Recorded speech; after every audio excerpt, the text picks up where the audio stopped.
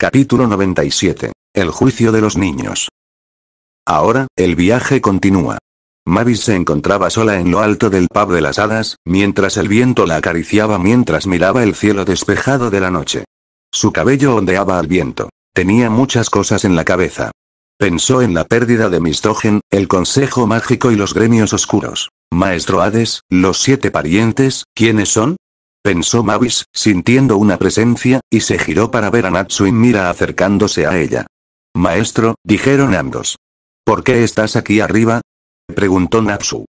A veces, dijo Mavis, me gusta escuchar el pulso de la ciudad. Sonrió. Lo escucho mejor por la noche y cuando todos los demás duermen. Se volvió para mirar a la pareja. Como sabéis, Mistogen nos ha dejado. Su rostro frunció el ceño, pero lo apartó. Tenemos que decidir quién lo reemplazará. Miró a lo lejos. Tenemos que estar preparados para cualquier cosa, y yo prefiero estar con todas mis fuerzas. Sí, dijo Natsu, ya no tendremos a Mistogen para rescatarnos. Con todo lo que está pasando, deberíamos estar en guardia, dijo Mira, pero el problema es quién podríamos preguntarle a Elfman, murmuró Natsu. Absolutamente no, gritó Mira. Mavis se rió entre dientes mientras se volvía hacia ellos. Muchos magos poderosos han llegado a Magnolia en el último año, así que creo que tengo una forma de decidir. En realidad el juicio de los niños al día siguiente, Lucky se sentó en la barra mientras Mira revisaba algunos documentos. Las cosas han estado tranquilas últimamente, ¿eh? preguntó Lucky.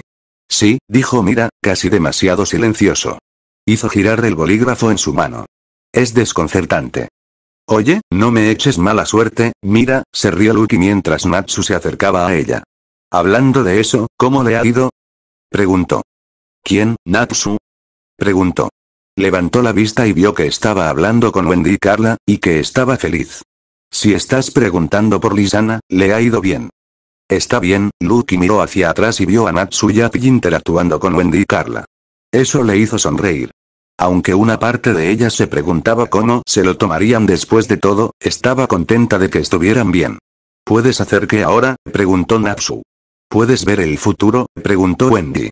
Sí, les informó Carla, es un rasgo que la reina Exted y yo compartimos, y creo que incluso tengo cierto control sobre él. ¿De verdad? preguntó Natsu. Sí, miró a su alrededor, aunque no puedo ver demasiado en el futuro, sin embargo, miró a su alrededor, presta atención a Macao muy pronto. Wakaba se acercará a él y comenzarán a hablar. Sobre la generación más joven.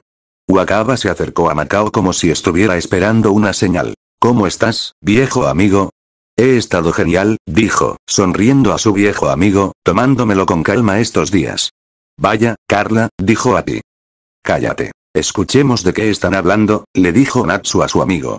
Sí, estos niños, comenzó Wakaba, casi me hacen extrañar cosas de nuestra época, sonrió. Estos nuevos niños son algo especial, si me permiten decirlo, especialmente su trasero. Esto hizo que Natsu y Wendy se estremecieran, casi como si Macao hubiera reaccionado dos veces. ¿Qué? gritó, oh, vamos, hombre. Lo que reprimiste, bromeó Wakaba. No, tengo un hijo al que cuidar, respondió. No puedo estar pensando en ese tipo de cosas. Oh sí, eres más un chico de piernas. ¿También predijiste que sería espeluznante? murmuró Wendy. Todos deberíamos haberlo visto venir, dijo Carla, sacudiendo la cabeza. Sí voy a tener que hablar con ellos sobre eso, murmuró Natsu. Un, llamó una voz. Pertenecía a Kinana, una joven camarera contratada recientemente y que trabajaba para Mira. Natsu, ¿deberían estar haciendo eso adentro? Preguntó mientras señalaba a Erza y Panther Lily, quienes estaban entrenando en ese momento al costado del pub, las espadas se cerraban tanto que una pequeña ráfaga de viento provenía de ellas. ¿Ya fue suficiente? preguntó Erza mientras Panther Lily saltaba hacia atrás antes de volver a su tamaño más pequeño. Parece que no puedo mantener mi forma original por mucho tiempo, murmuró. Aún así, pareces estar muy bien entrenado. Gracias, te lo dije, Erza, dijo Gagel, acercándose a los dos. Lily tiene mucho coraje. Me halagas, Gagel, dijo Lily. Natsu mira, dijo una voz cuando Mavis salió de la puerta, ya has hecho lo que te pedí.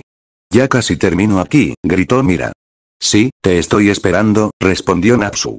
Está bien, una vez que hayas terminado, encuéntrame en los archivos, se dio la vuelta, dejando a los dos con su tarea mientras Natsu se despedía de Wendy. ¿Está todo bien? Preguntó Erza. Ah, sí, dijo Natsu. Estoy trabajando en algunas cosas ahora mismo, dijo mientras pasaba junto a ella. Podemos ponernos al día más tarde. Mira tomó su pila de papeles y los puso juntos mientras sonreía. ¿Están todos listos? dijo mientras se giraba hacia Kiana. Oye, ¿te importaría encargarte del bar mientras no estoy? Un, sí, señora, murmuró la joven. Mira simplemente le sonrió mientras le acariciaba la cabeza. Me pregunto de qué se trata, reflexionó Lucky mientras veía a sus dos amigas desaparecer en la parte trasera. Notó que Kana parecía estar observándolas mientras entraban. Se preguntó qué podría pasarle a la mente de la joven. Más tarde esa noche, Lucky estaba en la ducha. Hombre, esto es muy relajante, reflexionó Lucky, se siente genial. Sí, claro que sí, dijo otra voz. Hombre, no me importaría vivir aquí. Espera. Lucky abrió la cortina de la ducha y encontró a Kana en su bañera, sonriéndole. Hola, Lulu, ¿qué haces aquí? Preguntó Lucky, usando la ducha para cubrirse. ¿Puedo preguntarte algo? Dijo Kana con total seriedad. Unos segundos después, Lucky se encontró sentada en la bañera con Kana. La energía incómoda era intensa, pero ella la ignoró. ¿Siempre te bañas con otras personas en la bañera? ¿Siempre entras en los apartamentos de otras personas? Es justo, dijo Kana. De todos modos, ¿cómo van las cosas con tu padre? Preguntó. Le pregunté a Natsu al respecto, pero me dijo que no habías dicho nada sobre él últimamente. Oh, preguntó Lucky, sorprendida de que ese fuera un tema de discusión. Muy bien, comenzó, con un ligero rubor en su rostro, hemos estado hablando por correo, dijo. ¿De verdad? preguntó Kana. Sí, dijo Lucky. Desde que perdió la herencia, miró hacia otro lado. Pero no lo sé. Eso no cambia lo que hizo ni cómo me trató. Pero te estás esforzando, le dijo Kana sonriendo, y bueno, eso es más de lo que algunas personas de este pueblo pueden decir. Soltó una pequeña risa antes de ponerse de pie. Gracias. Espera, Kana, preguntó Lucky. ¿Qué te ha provocado esto? Nada, dijo Kana sonriendo, no hay por qué preocuparse. ¿Kana estuvo aquí ayer? preguntó Erza. Mientras el grupo salía del complejo de apartamentos, preguntó. ¿Pasó algo? No puedo decirlo, le dijo Lucky. Tal vez deberíamos preguntarle a Natsu y a Mira, dijo mientras caminaban. Si podemos, murmuró Gray, han estado abrumados estos últimos días. Tenía razón desde hacía una semana. Natsu y Mira habían estado llenando papeleo por la ciudad. Pasaban una cantidad razonable de tiempo en los archivos, lo que estaban haciendo era una incógnita en este momento, pero eran muy reservados. Creo que tiene que ver con Mistogen. Erza dijo. Recuerden que terminó teniendo que irse de repente, les dijo, si es mi suposición, están tratando de averiguar hacia dónde deberían ir desde aquí. Tal vez, dijo Lucky cuando notaron que Elfman, Carla y Wendy se acercaban a ellos, bueno, eso es algo nuevo. Oh, hola chicos, saludó Elfman, ¿van al pub? Sí, preguntó Lucky. ¿Dónde está Natsu? Preguntó. Él y Mira tuvieron que salir antes, dijo Wendy, dijeron que necesitaban terminar el trabajo de preparación.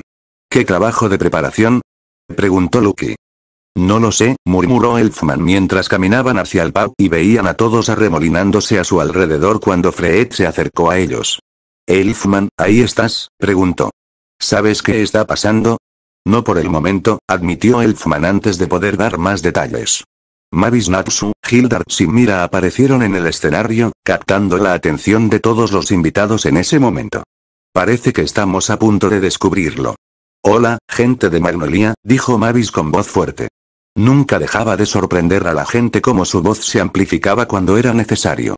Les traigo una triste noticia. Su segundo hijo, conocido simplemente como Mistogen, nos ha dejado, dijo. Entonces, ella anunció la partida de Mistogen, murmuró Erza. Por supuesto, ella y algunos otros sabían sobre la partida de Mistogen. No hay razón para llorar. Él siempre vivirá en nuestros corazones. Así que hoy sea una celebración de nuestro hijo perdido, dijo, y agreguemos a Mistogen como uno de los pocos defensores de nuestro hogar. La gente en todo el pub aplaudió, que se sepa que Mistogen siempre ha hecho lo que pudo para proteger nuestro hogar y nuestra forma de vida, mientras la gente vitoreaba a Natsu. Una cosa más antes de que se vuelvan locos por la fiesta, dijo, haciendo que la gente se detuviera. Era algo poco común. Natsu rara vez hablaba en uno de esos eventos. Tenemos una solicitud para los siguientes magos. Mira se aclaró la garganta mientras leía un papel. Elfman Strauss, Kana Alberona, Levin Garden, Greyful Buster y Erza Scarlett. Gritó. Por favor, el maestro Mavis tiene una petición para ti. Dijo. Encuéntranos fuera del horario laboral si estás interesado. Lucky miró para ver dónde estaba Kana. Tenía una expresión de tristeza en el rostro antes de volverse hacia Erza y Gray. ¿Saben de qué se trataba?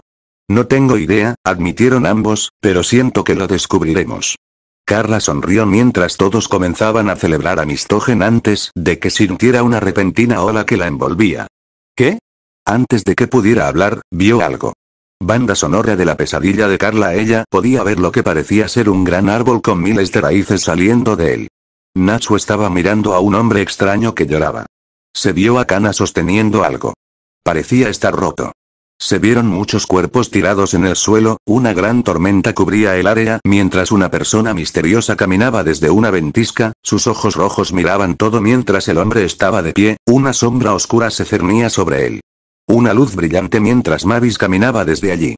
Parecía diferente, casi radiante. Carla, llamó Wendy, sacando a Alexte de su trance. ¿Estás bien? Sí, estoy bien, murmuró Carla. ¿Qué fue eso? Se preguntó, ¿y quién era ese hombre? Miró a su alrededor y se dio cuenta de que todos los que veía eran las personas a las que Mir había llamado. ¿Qué estaba tratando de decirle su clarividencia? Más tarde ese mismo día, Erza y Gray estaban en el pub vacío después de que el pub había cerrado. Levi, Elfman también estaba allí junto con Kana, que no había dicho una palabra, pero había una persona extra. Era un hombre con cabello negro casi afeitado, un pico de viuda ligeramente delineado y patillas ligeramente largas. Tiene ojos grandes, brillantes, de color turquesa esmeralda y cejas finas. Tres cicatrices distintivas cubren el lado izquierdo de su rostro. El atuendo consiste en una chaqueta de raya diplomática con un cuello alto y ancho, alternando rayas rojas con diferentes series de naranjas, con distintivos calentadores de brazos marrones sueltos que cubren las mangas desde los puños hasta debajo de los hombros, cada uno con un motivo simple y ondulado justo debajo del borde superior, pantalones negros sencillos y zapatos blancos. Les dio una cálida sonrisa cuando Mavis apareció nuevamente. Hola a todos, sonrió. Me alegra que hayan podido escuchar mi pedido, dijo, como saben, Mistogen nos ha dejado, y con su ausencia, hay un vacío de poder en Magnolia. El hombre que estaba con ellos no dijo nada mientras miraba hacia otro lado, parecía enojado, pero todos decidieron ignorarlo. Dicho esto, tendremos que llenarlo, dijo. Entonces, ¿estás pidiendo a uno de nosotros que reemplace a Mistogen? preguntó Erza.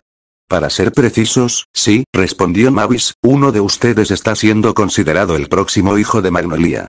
Esperen, ¿por qué están todos aquí? preguntó Levi. Pensé que el niño actual elegiría a su sucesor.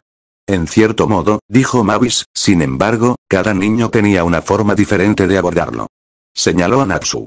Natsu fue entrenado y adiestrado por Hildards hasta que consideró que estaba listo. Mira y Mistogen demostraron su valía después de proteger a Magnolia varias veces en las que su predecesor o yo les ofrecimos la oportunidad, y Laxus se ganó la suya a través del derecho de herencia, reveló Mavis. Ya veo, dijo Levi. Mistogen era muchas cosas, dijo Mavis. Sin embargo, una cosa que puedo decir sobre él es que se preocupaba por Magnolia, sonrió. Creía que cualquiera podía convertirse en su protector, y fue entonces cuando se le ocurrió esto, sonrió. Una prueba, dijo. ¿Un juicio? preguntaban todos. Sí, confirmó Mavis, quien complete la prueba y ganará el regalo del hada. Espera, ¿cuál es exactamente el regalo del hada? preguntó Erza. Hablaremos de esto más tarde, dijo Mavis, para quien gane el juicio que se avecina. Sonrió, pero debes saber que quien gane será colocado en el mismo estatus que Natsuimira, dijo. El juicio se llevará a cabo dentro de una semana. Te permitiré llevar a un compañero, pero ellos son los únicos que pueden conocer esta información. Sí, señora, dijeron todos. No tienes por qué aceptar esta oferta si no quieres, dijo Mavis. Sin embargo, te pido que no digas nada al respecto hasta que hayamos emitido un veredicto, dijo Mavis. Están pasando demasiadas cosas en este momento. En pocas palabras, no queremos que otras personas sepan que ahora estamos a la mitad de nuestras fuerzas, dijo Natsu desde su rincón. Y para tu información, tu pareja no puede ser Miran y yo. Tenemos que ser justos. Comprendido cuando el grupo empezó a marcharse, el hombre desapareció. ¿Quién era ese? preguntó Levi.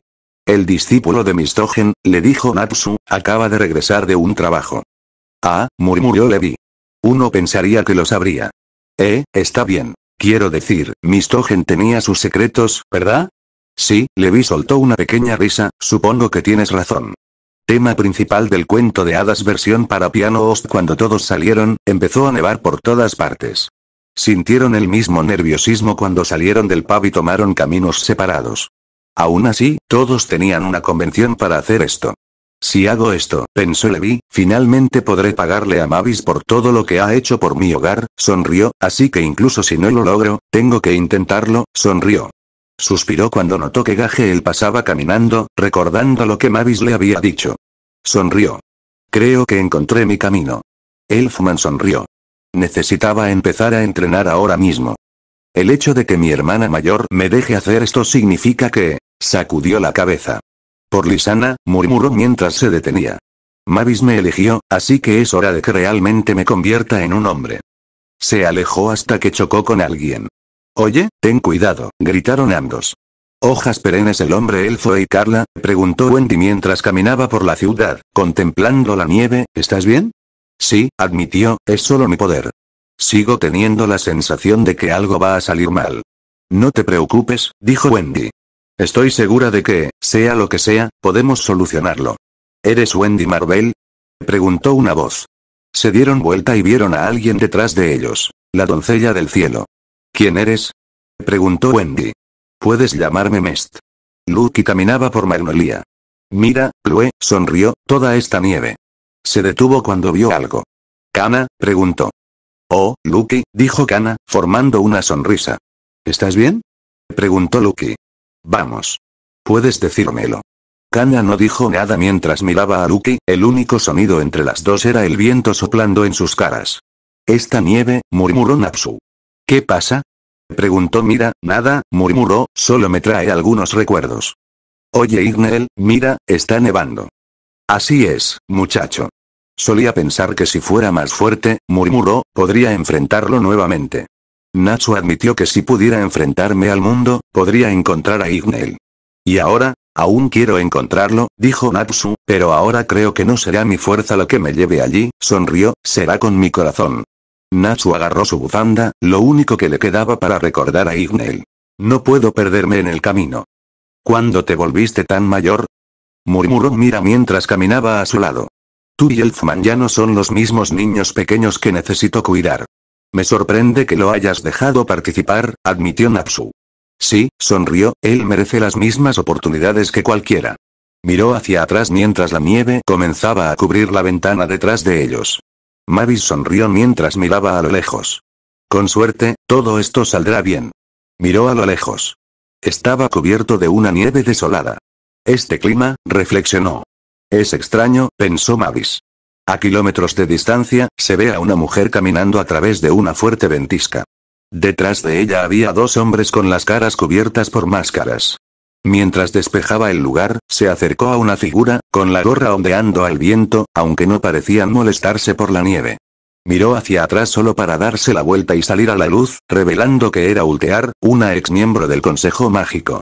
Banda sonora de Ultear la bruja ¿qué pasa esta vez? Su voz era fría es hora de ponerse en marcha, dijo Ultear. Los dos hombres que estaban detrás de ella dijeron. El maestro Hades nos ha convocado a todos. Así pues, el maestro ha encontrado, dijo, la clave final. Sí, fue todo lo que dijo Ultear, y ahora se solicita a todos los miembros de la familia que regresen al gremio. Una sonrisa malvada se formó en su rostro. El maestro Hades dice que es el momento. Casi todos los gremios ya se han reunido, sonrió. El fin se acerca. Ya veo, dijo ella. Tú, llamó una voz.